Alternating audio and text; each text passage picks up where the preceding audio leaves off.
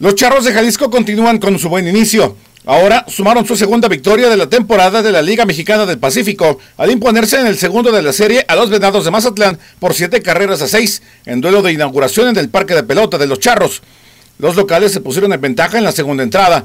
Un batazo del jardinero Alex Ortiz le abrió la puerta a Manny Rodríguez para poner la primera rayita.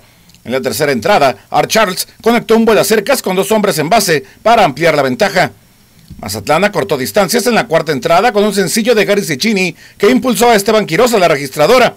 Una entrada después, Gilberto Galaviz hizo la segunda gracias a un pasbol de Santiago Chávez, que Asael Sánchez aprovechó para marcar la tercera.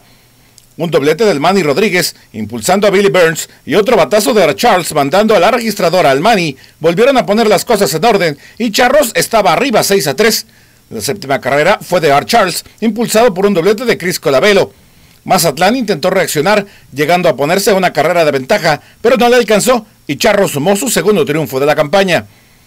La victoria fue para Manuel Flores y la derrota la cargó Joandy Fernández. El salvamento fue para Iván Salas. Charros de Jalisco inicia nueva serie en casa ante Yaquis de Ciudad Obregón para este viernes, sábado y domingo en el Parque de Pelota de Zapopan.